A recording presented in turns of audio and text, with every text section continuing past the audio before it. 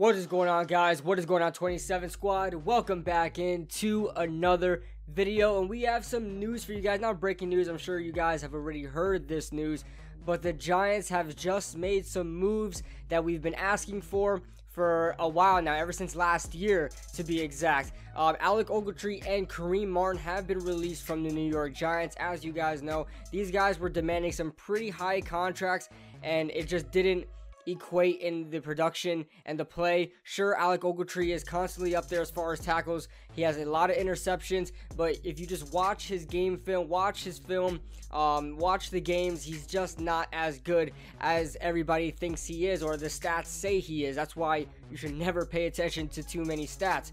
And top that, Kareem Martin too. See, Kareem Martin was slated to be a starter before all these other players came in. He was si- he was signed, I believe, two years ago uh, as we drafted Lorenzo Carter. So we, we signed Kareem Martin and then uh, drafted Lorenzo Carter. And then the next year drafted Oshane Ximines.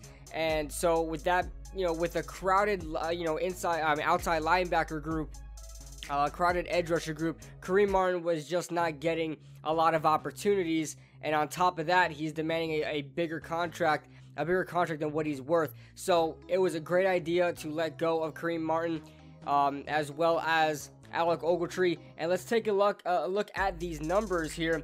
Uh, according to Spotrac.com, if you guys don't know what Spotrac.com is, pretty much what a lot of people use, including myself, uh, use as, uh, to look at you know contract uh, details and you know free agency and things like that. pretty much everything you want is in this website. This is not sponsored by the way, but I love Spotrac, so uh, that's what I'm using here. And here we are in the build the roster, manage roster section of the New York Giants on Spotrac.com, and it says here uh, if you know before before these cuts are made, the Giants have a projected amount of 58 million dollars in cap room, which is a decent amount. The Giants never really have that much um, on a consistent basis. So we have 58 million as of right now, and if we cut Alec Ogletree, it's gonna jump up to 66 million dollars. And then when we cut Kareem Martin away from this here, it now adds up to 71 million dollars. So the Giants have an extra almost 20 million dollars in cap space to work with um, about 15 or so to work with. So this gives the Giants a lot of opportunities to go somewhere and get at least one big free agent. My guy is, um, it has got to be Jack Conklin, the right tackle.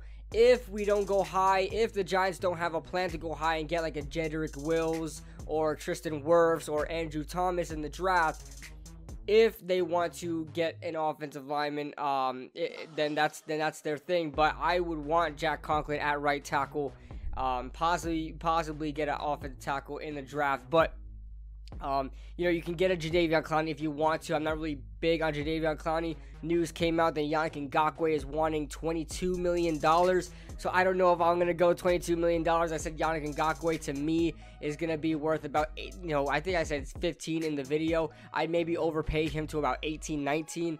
Uh, but man, $22 million.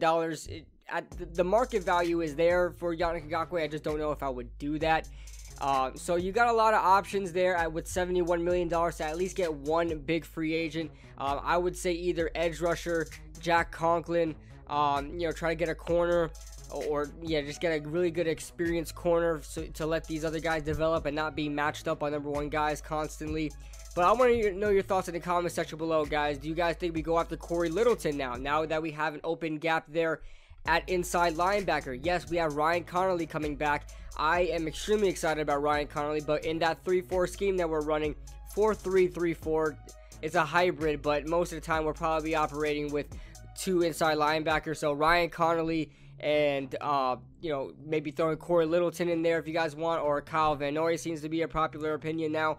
Um, so a, a, bunch of options out there, guys. So let me know your thoughts in the comment section below. Kareem Martin and Alec Ogletree have been released for the New York Giants, opening up opening up the Giants to getting $71 million in uh, cap space this year. Let me know your thoughts in the comment section below, and I'll see you guys in the next video.